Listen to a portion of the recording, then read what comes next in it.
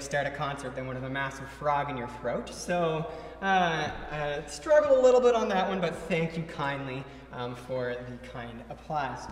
Um, once again, welcome to First St. Andrews. Um, my name is Jordan Baldwin. Um, I have been a member here at this congregation since um, my parents started coming here when I was a child in the 1990s, um, and have been very blessed with the spiritual music and stewardship that has been provided by the church over the years, um, and am very excited um, with the new leadership that Erich has started to bring as of this fall. Uh, so that first piece, uh, a bit of an odd choice to start a uh, Christmas Advent concert with a musical selection from Oedipus. Uh, but uh, I do have a method to that madness. Um, four years ago, I was part of a chamber group called the Thames Scholars, and we did a Advent concert here, and we opened up with Gerald Finzi's rendition of that. So I just thought it was fitting and kind of a bit of a full circle um, to be able to perform another setting of that piece. Uh, in the Christmas spirit, I'm continuing on with two totally not related pieces of music. Uh, the first is the Stabat Mater, which is actually the Sorrow of Mary, which is supposed to be performed at Easter, but I just wanted to sing it. Uh, and the second piece is uh, also by Vivaldi. Um, it's from his Nisi Dominus, which is based on Psalm 127. Uh, and uh, it is a beautiful piece of music that I first heard randomly on Narcos, which was a show that HBO put on a few years ago, and they played it at a very ominous point of the show, and is like, I can sing that better. So here is uh, the next two selections by Vivaldi, and I do need to go grab a glass of water to get this frog out of my throat really quickly.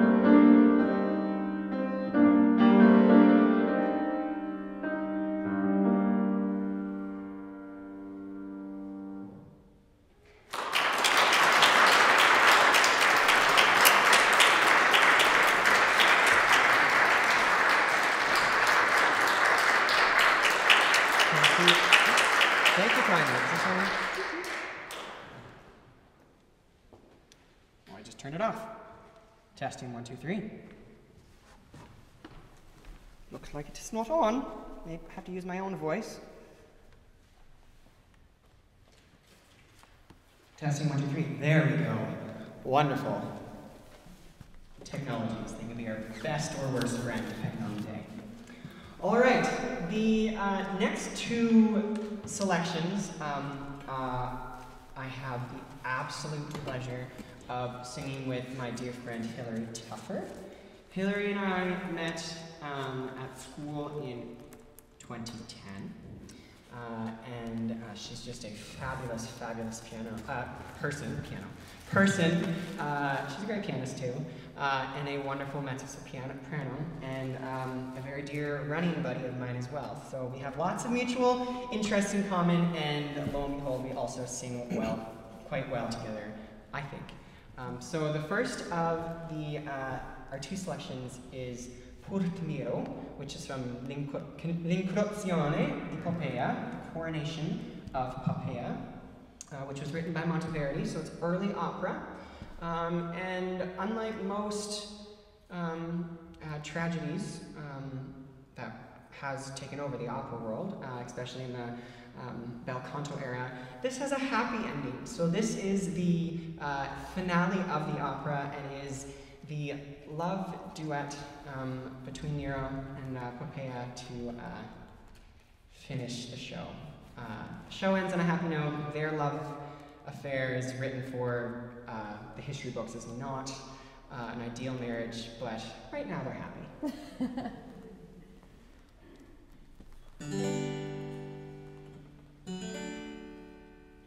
selection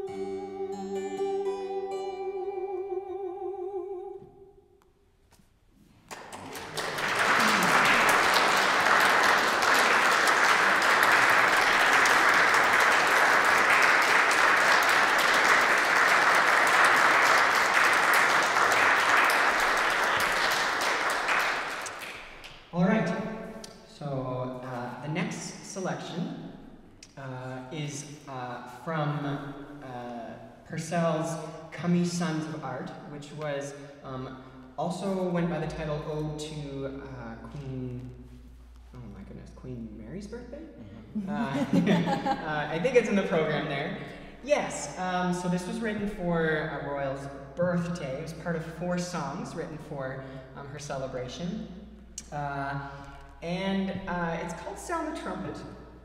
Now, I have uh, um, my dad, Ken Baldwin, playing trumpet, um, uh, but I thought, what better way to annoy him than include a song about a trumpet and not include him? Uh, but I can also spin it as this is the announcement that he will be coming to sound the trumpet. And Hillary just sounds too good at the song for me to have a trumpet player cack all over it.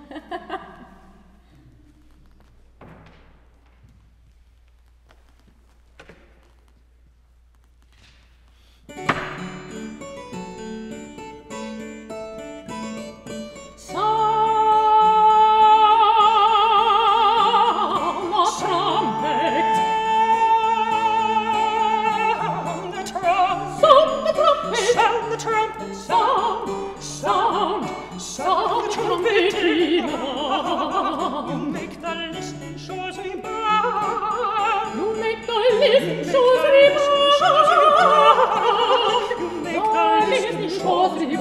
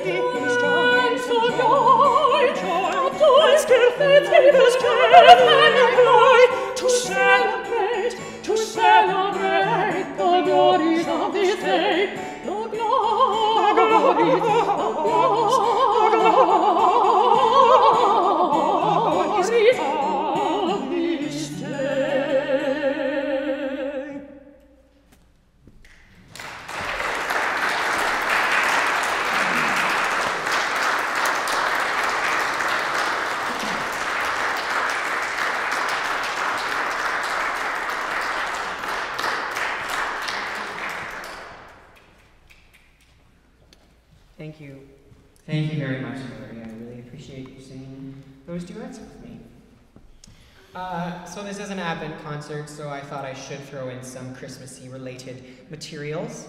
Uh, and that comes uh, in the form of this uh, beautiful little Christmas Advent suite that was arranged by Michael Rondo, who is quite a prolific um, teacher and uh, trumpet player himself. So thank you, Internet, for connecting that. Um, we, uh, so Ken, Ken will be playing back here.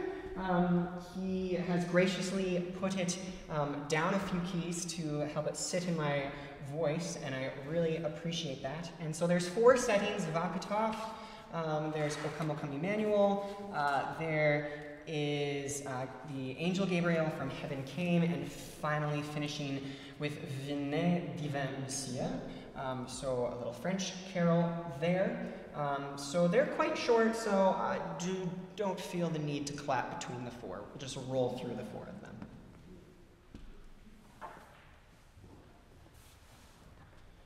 Mm-hmm.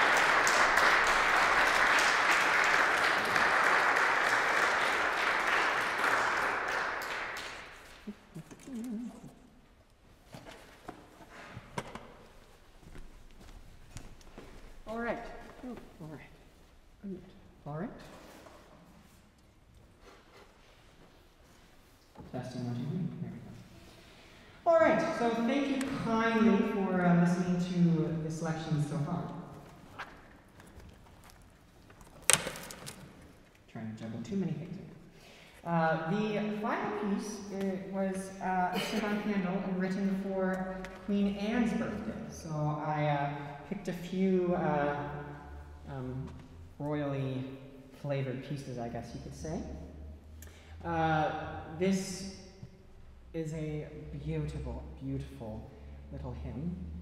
Uh, and I thought it was very fitting to pick it now in today's climate um, because uh, it is about light, the eternal source of light divine. And I think really in um, uh, today's world, we do need a lot of of light wherever we can find it because uh, there is a lot of hurt, there's a lot of pain, there's a lot of isolation, uh, and just knowing that light is forever divine and there is eternal source of it um, is comfort in itself. Uh, I have the pleasure uh, of having Erich on the organ for this one again, and uh, Kenneth is uh, playing the trumpet again. Uh, so thank you very, very, very much for coming. This is the last piece in the program. I do know we are in a very, very strange world, so singing to a massive venue like this with so few people in it uh, is is bizarre, but it is an incredible um, blessing to be able to sing, uh, seeing you guys all spaced out there. Um, and uh, for those of you that weren't able to come in, because I know there was quite a few people that were turned away at the door because of COVID restrictions, um, Uh, I do hope you uh, are able to enjoy this uh, once we put the video together and post it on First St. Andrew's website page. So if you know anybody who wasn't able to attend the concert t- today, um, just let them know that there will be a posting of some of the recordings uh, in a few days. Once again, thank you, thank you very much, and uh, enjoy Eternal Source of Light, Divine.